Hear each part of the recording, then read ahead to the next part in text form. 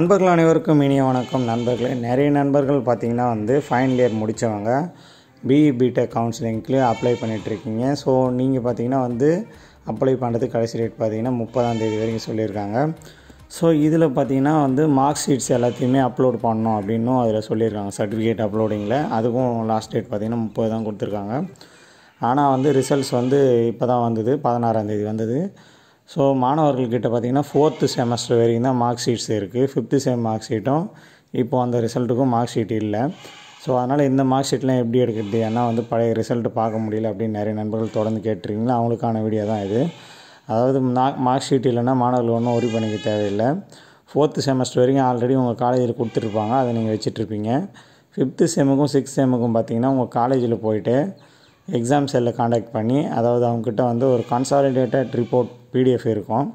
அதாவது ஒரு ஒரு செமஸ்டரும் எத்தனை மாணவர்கள் பாஸ் ஆனாங்க அவங்களோட மார்க்ஸ் என்னென்ன டீட்டெயில்ஸ்லாம் அந்த பிடிஎஃப்லேயே இருக்கும்.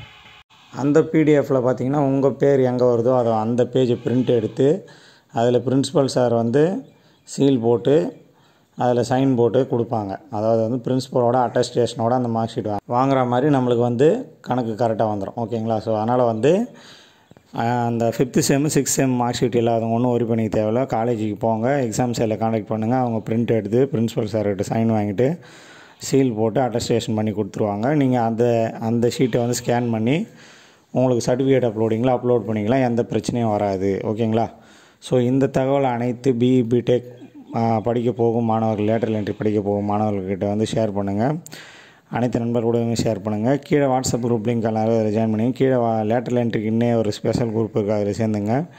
இல்லை ஜாபுக்கு போகணுன்னு நினைக்கிற மாணவர்கள் கீழே ஜாபுக்கான வாட்ஸ்அப் குரூப் இருக்குது. மற்ற மாணவர்கள் படிக்கிற மாணவர்கள் இருந்தீங்கன்னா உங்களுக்கு தேவையான வாட்ஸ்அப் குரூப்பும் கீழே டிஸ்கிரிப்ஷனில் இருக்குது ஓகேங்களா ஓகே நண்பர்கள் நெக்ஸ்ட் வீடியோவில் பார்க்கலாம். வேறு எதனா கேள்விகள் இருந்தால் கமெண்ட் பாக்ஸில் கமெண்ட் பண்ணுங்கள் நம்ம அதுக்கு தனியாக ரிப்ளையோ இல்லை ஒரு வீடியோவோ போடலாம்.